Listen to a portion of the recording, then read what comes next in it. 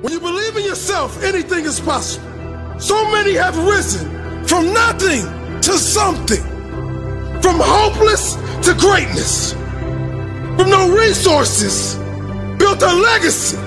If they can do it, you can too. But only if you believe.